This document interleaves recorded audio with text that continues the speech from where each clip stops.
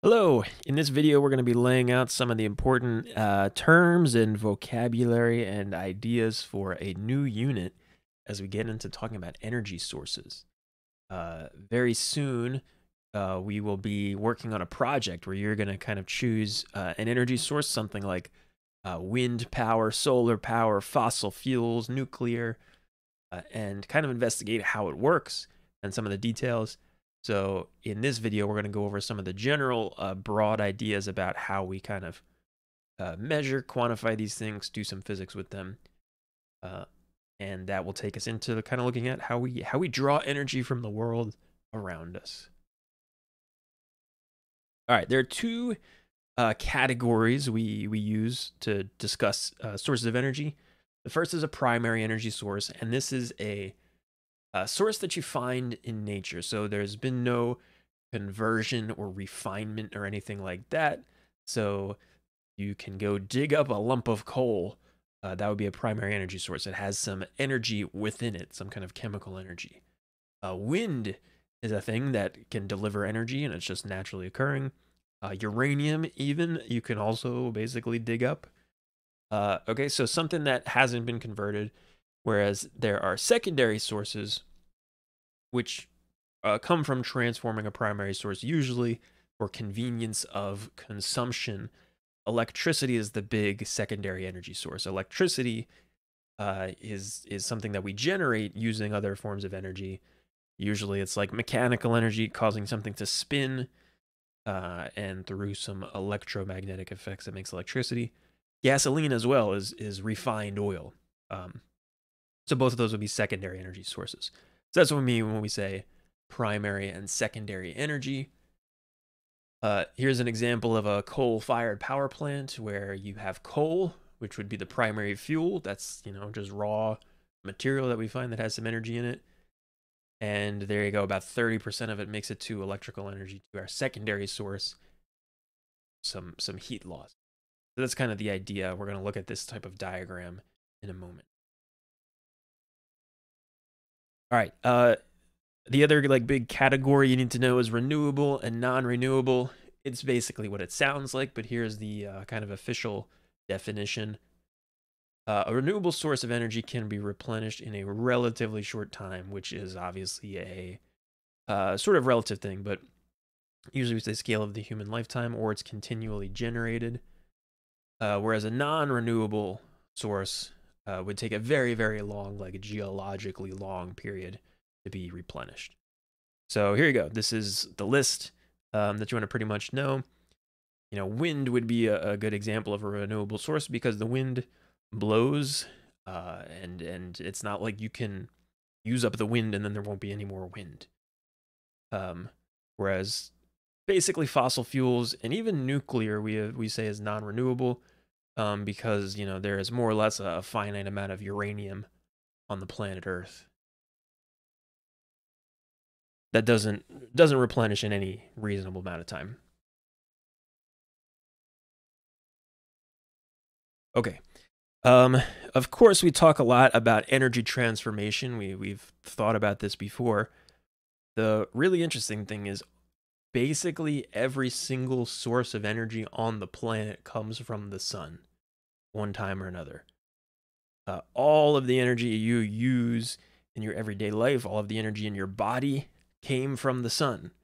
You know, the sun uh, shines on the planet.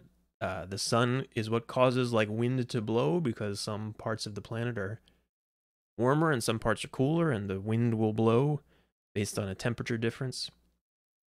Um, sunlight causes you know plants to grow. The plants grow we eat plants, animals eat plants, dinosaurs ate plants. Dinosaurs got like exploded by a big meteor or something. Dinosaurs got buried under the earth, decomposed over millions of years. Now there's a bunch of oil down there. The energy in that oil came from the dinosaurs, which came from the plants, which ultimately came from the sun. Everything comes from solar. Uh, except for a few very other small sources of energy. Uh, there is like tidal energy between um, the sun and the moon and the, and the earth as we all pull on each other. a little bit of like tidal stuff that we can talk about. There's some tidal power that you can harness. Uh, nuclear energy is kind of its own thing. So, like uranium doesn't officially come from the sun, though you could argue it probably came from another star at some point. Uh, but it doesn't come from the sun, so that you you know you can dig up uranium and that radioactive material has its own energy, sort of divorced from the energy of the sun. And the Earth has its own internal thermal energy because the Earth is warm. The Earth is a couple hundred Kelvin, uh, so we have geothermal heat as well from the uh, you know hot center of the Earth, and then the heat underneath, like the crust, you can uh, harness a little bit of that heat. Um, but these things make up a very small fraction. The vast, vast, vast majority, all of the energy sources you're going to look at, with the exception of nuclear, come from ultimately the radiated energy of the sun. Uh, so depending on what you have, you may look at how that happens. One other term you're going to need is energy density. Um, and this is a term that like is usually used um, pretty loosely maybe. The IB being the IB is going to be very nitpicky and specific. There's two different things. All right, energy density, uh, officially being density, that would mean it's a per volume thing. So energy density talks about how much energy is in a certain amount of fuel or material. So you could have a gallon of gasoline and you could say, within that gallon of gasoline, how many joules of energy could you pull out of it? That would be energy density. Uh, you know, you, you, do joules per gallon, which is uh, an energy per volume. Uh, of course, our base units then will be joules per cubic meter. So energy density is energy per volume. But if you're dealing something with something like coal, um, which is you know like a solid, you might not talk about it in terms of its volume. You might talk of it in terms of its mass. If you talk about it in terms of its mass, you will call it specific energy. Just like specific heat capacity is like a per kilogram thing, specific energy is a per kilogram thing. So they're very, very similar. Most places you look, even very official places, um, will usually just use energy density generically, and they'll talk about energy density in joules per kilogram. Uh, if you ask the IB that is not officially correct, and the IB is all about being officially correct, so they will ask you to make a distinction between energy density, which is joules per volume, and specific energy, which is joules per mass. Conceptually, they're both measuring basically the same exact thing. You have a certain amount of stuff, how much energy is stored in that stuff. Uh, so you'll look at this. This is one of the things that, depending on the material you you choose, uh, you'll see like what kind of energy density or specific energy you have.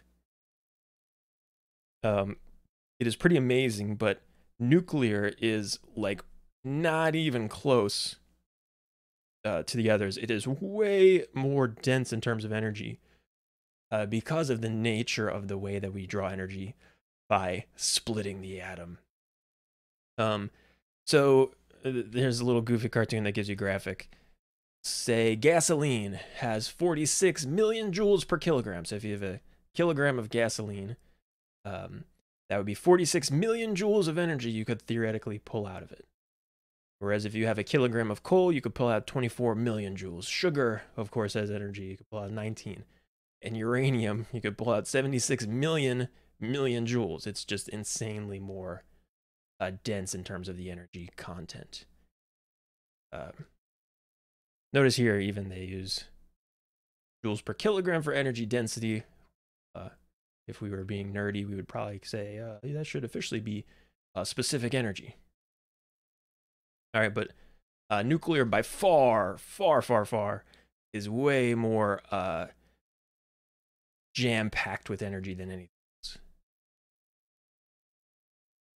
All right, one type of problem they'll have you do is like energy density or specific energy problems. These are really just factor label method problems. So this this is uh, an IB problem. Um, so we could do here's the specific energy of gasoline. So it's got you know 44 million joules of energy in every kilogram of gasoline.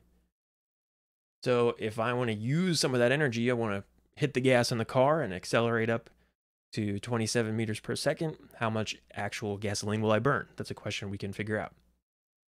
Um, all right, so using the ideas of conservation of energy plus uh, the kind of units of specific energy. See if you can give this a shot. Go ahead and you know pause the video, try it out, see if you can work out how much energy you would need, and then use the energy, energy uh, specific energy to see what the mass would be. And we'll walk through the solution here. All right, here we go. Let's look at how you would solve this. Uh, of course, we can always guess method it. So let's look at what we're given. We're given the specific energy.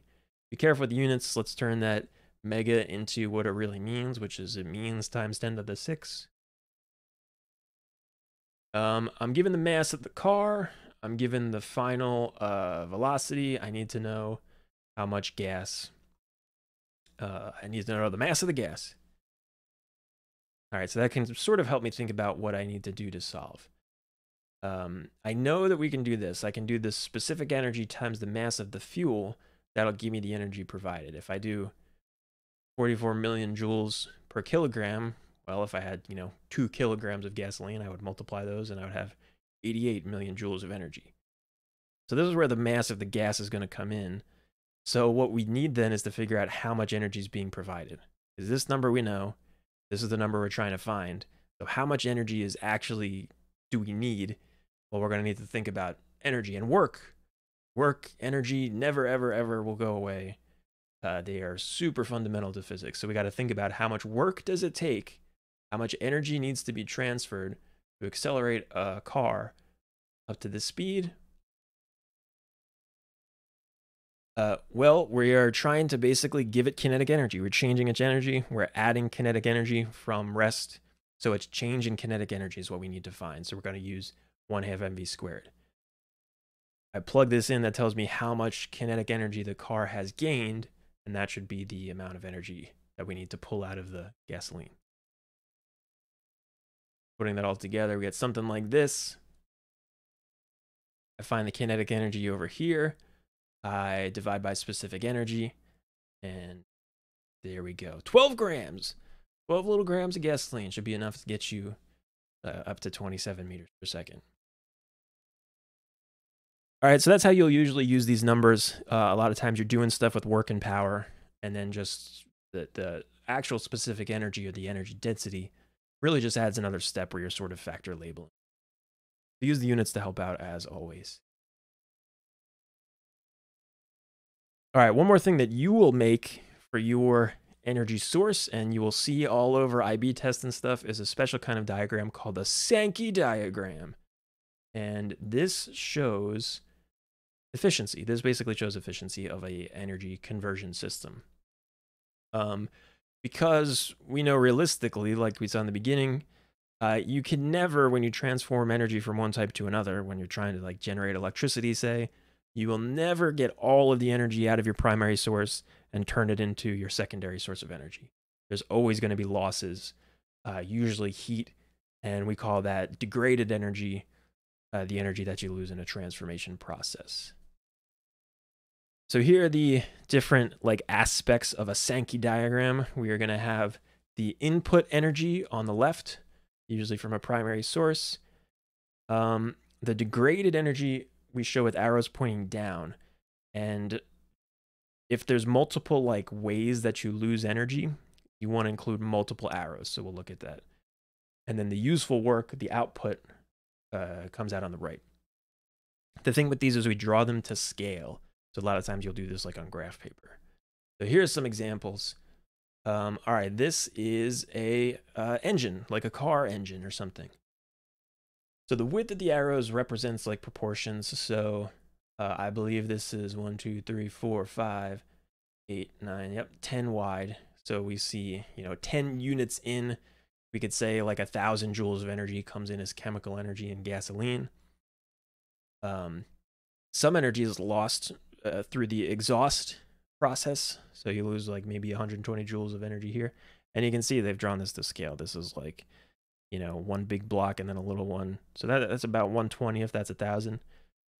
Um, all the moving parts of the engine, you know, there's friction and kinetic energy there and all that. So you lose about 540 joules uh, in moving the engine. And 340 is what actually makes it to the like motion of the car itself. Uh, so You can see in this Sankey diagram, it's a very clear illustration of here's how much we have on the input, here's how much useful output we have, here's all the waste. And it's a really good picture of efficiency. We can see here the efficiency would be like 34%, which is about right for a combustion engine. Um, so it gives you a good a good picture of efficiency and where the energy goes and, and comes from. All right, one other thing that you will uh, be asked to do, either on the IB exam or in, uh, say, a project, is to outline the energy transformations that take place. So, you know, what are all of the conversions that take place in this process? So, for example, um, we could look at, say, gasoline is, is the one we've been looking at. Um, so, where does that ultimately come from? We want to remember it comes from the sun. Uh, it really does. The sun shines down and through the process of photosynthesis becomes chemical energy stored in plants. That chemical energy then is compressed over geological periods of time, millions of years, uh, and eventually gets, uh, you know, these plants uh, perhaps compress themselves or, you know, get eaten by dinosaurs or whatever, um, turns into chemical energy, but the compressed biomatter becomes oil or natural gas and, things like this. And so chemical energy is stored in those fossil fuels.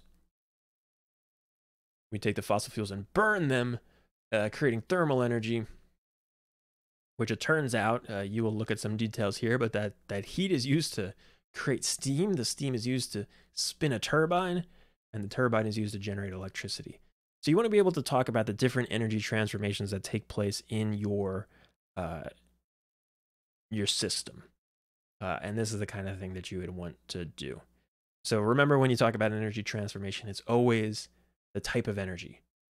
So, you know, thermal energy to kinetic energy, kinetic energy to kinetic energy, just of different things, kinetic energy to electrical.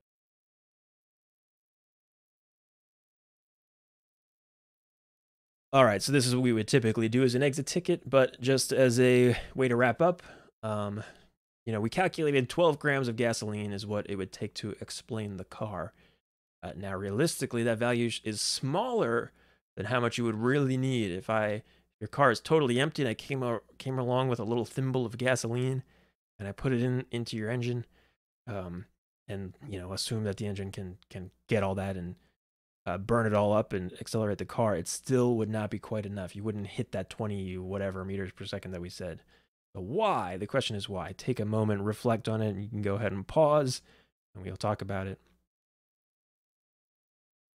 All right, so of course the idea here is efficiency. Uh, the 12 grams of gasoline would go on the input side. So that amount of energy would really be like the input to our Sankey diagram. And in a combustion engine, we would expect like really only about 34% of that would come out. So we would kind of need to uh, take efficiency into account to go backwards and figure out, okay, I need that much energy here, so I need like triple that. Uh, so we probably need, you know, ballpark something like 30 or 40 grams of gasoline instead. Uh, so, you know, that could come up in a problem to efficiency. And just like when we did them in the mechanics unit, you would need to consider efficiency in the problem.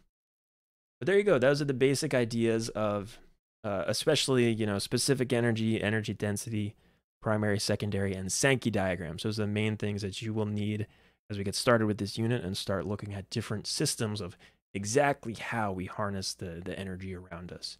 So we will get into it with a project. Uh, have fun.